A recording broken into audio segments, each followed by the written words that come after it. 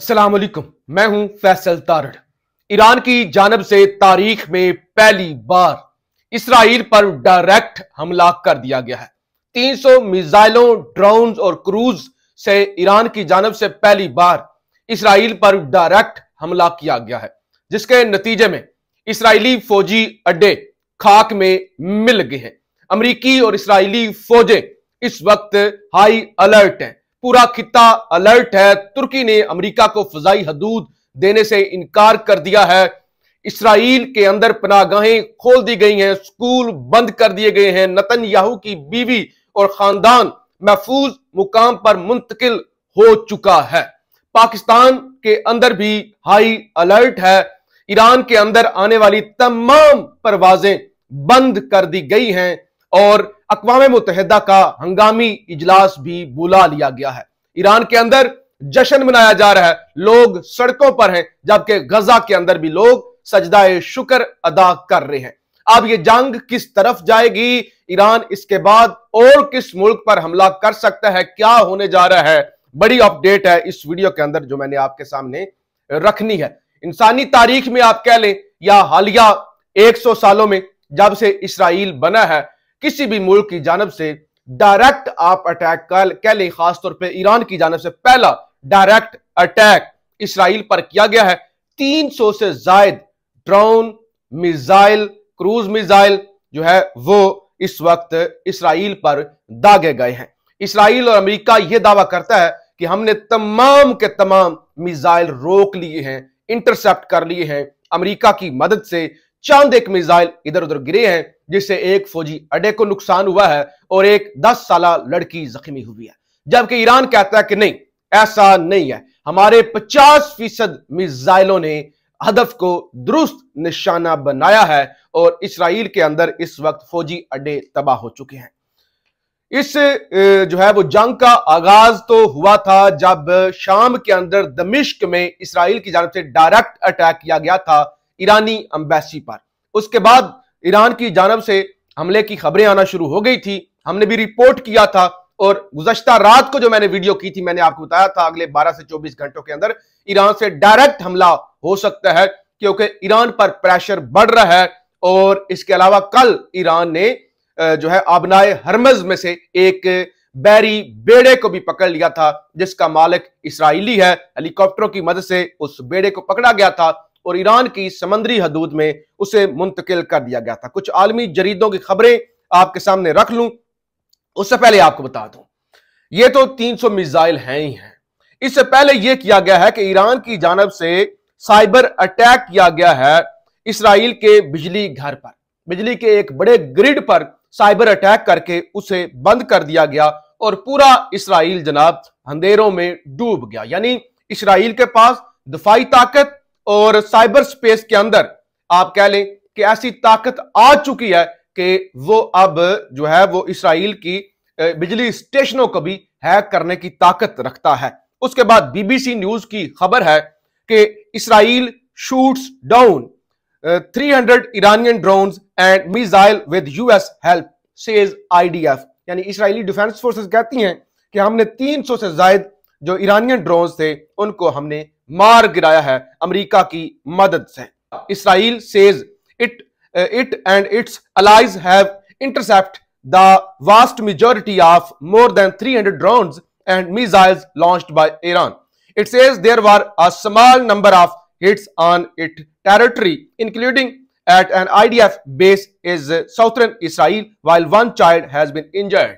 وہ کہتا ہے کہ اس میں سے کچھ ہم جو ہے وہ چھوٹا سا نمبر تھا، جس کو ہم انٹرسپٹ نہیں کر پائے۔ اس نے ہماری بیس کو نشانہ بنایا ہے اور ایک چھوٹی بچی جو ہے وہ بھی زخمی ہوئی ہے۔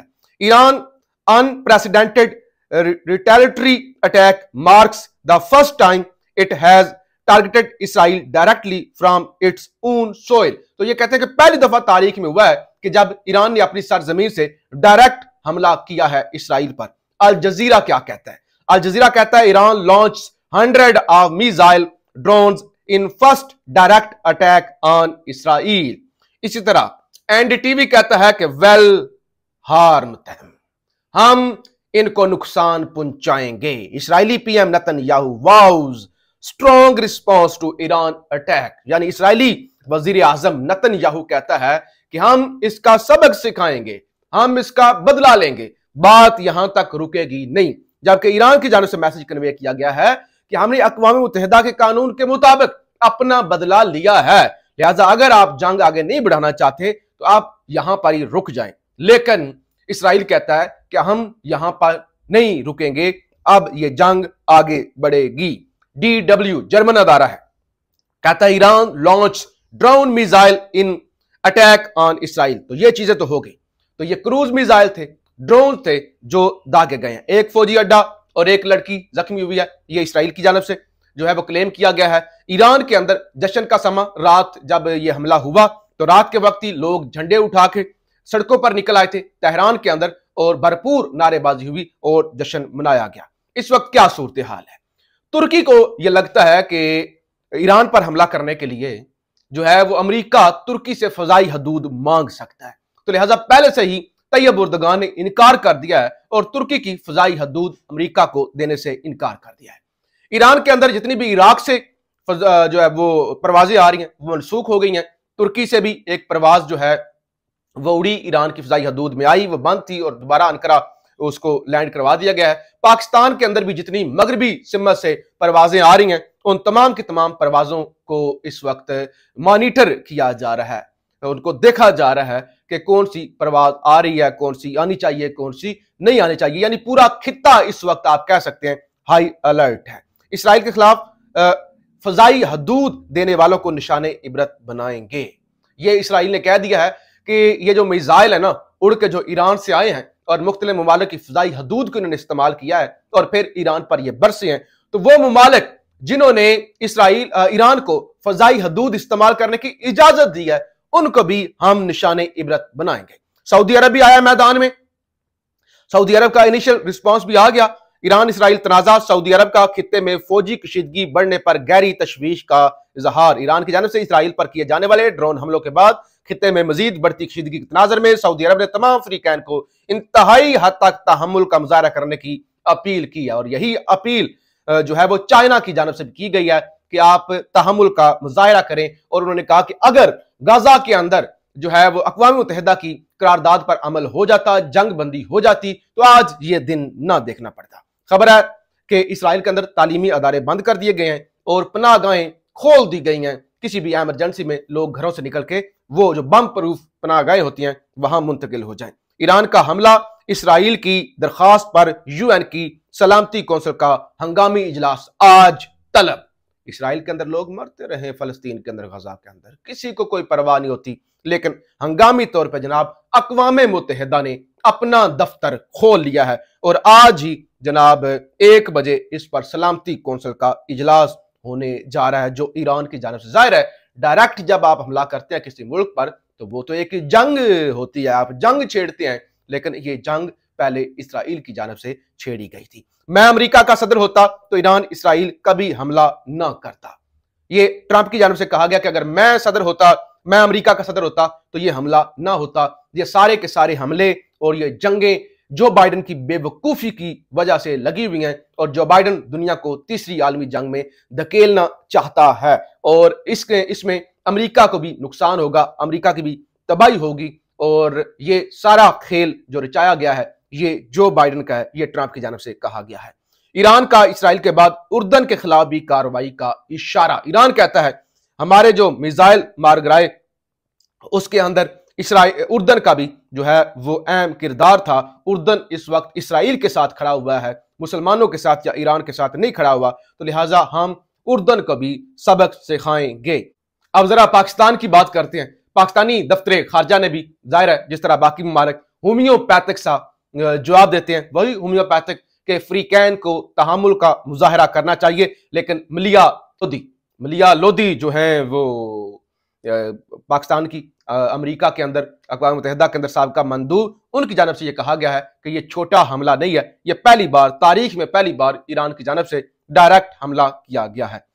جبکہ جبکہ جو مشاہد حسین سید ہیں، سابقہ سینیٹر، وہ کہتے ہیں کہ یہ جو ایران کی جانب سے حملہ کیا گیا ہے، یہ جائز جواب تھا، مناسب جواب تھا، یہ ہونا چاہیے تھا۔ اس حملے کے بعد اسرائیل کا بھرم ٹوٹ گیا ہے۔ لہٰذا اسرائیل جو ایک بڑا وہ طاقت کے نشے کے اندر دھت تھا، ان کا اب بھرم ٹوٹ گیا ہے۔ تو اب جس طرح سے امریکہ پر تول رہا ہے نتن یاہو نے دوبارہ بدلہ لینے کا اعلان کر دیا ہے۔ تمام پورا خطہ مڈل ایسٹ الرٹ ہے۔ اسرائیل بھی الرٹ ہے۔ ترکی نے فضائی حدود دینے سے جو ہے وہ انکار کر دیا ہے۔ اقوام متحدہ کھل چکی ہے۔ تو ابھی یہ جنگ مزید بڑھنے کا خدشہ ہے یعنی اب پورا خطہ میں نے کہا تھا کل بھی آپ کو کہ اگر یہ جنگ لگتی ہے تو پاکستان کا بھی اس میں نقصان ہوگا۔ کہیں نہ کہیں پاکستان کی بھی اس میں انوالومنٹ ہوگی اور دنیا کے اندر تیل کی پرائسز بھی شوٹ کر جائیں گی۔ تو اس لیے بھی پاکستان پر اور پاکستان جیسے گریب ملکوں پر اس جنگ کا اثر پڑے گا۔ اور پھر ایران ہمارا پڑوسی ملک ہے، باقی بھی سارے اسلامی ملک ہیں اور اس خطے کے اندر اب آپ کہہ سکتے ہیں کہ اگر اس کو روکا نہ گیا، اگر تحمل کا مظاہرہ نہ کیا گیا، تو پھر یہ جنگ پھیل سکتی ہے۔ پاکستان زندہ باد۔